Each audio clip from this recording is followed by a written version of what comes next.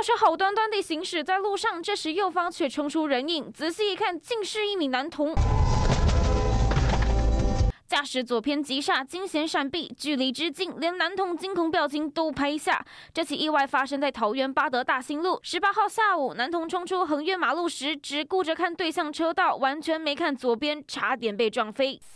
另一起车祸同样发生在桃园，只见前方轿车直接切西瓜左转，而行经斑马线时，不仅没有放慢速度，反而加速经过，行人迎头遭撞，整个人喷飞，四脚朝天，重摔在地。驾驶急忙下车关切，而一旁人见状纷纷上前查看。车辆未停让行人，罚款的金额提高至上限六千元，并违规记点及道安讲习三小时，致人受伤或死亡，罚款加倍。并处吊销、吊扣驾照。行人地狱层出不穷，驾驶人习惯难改，政府祭出重罚，希望能给用路人有安全回家的路。记者台北桃园综合报道。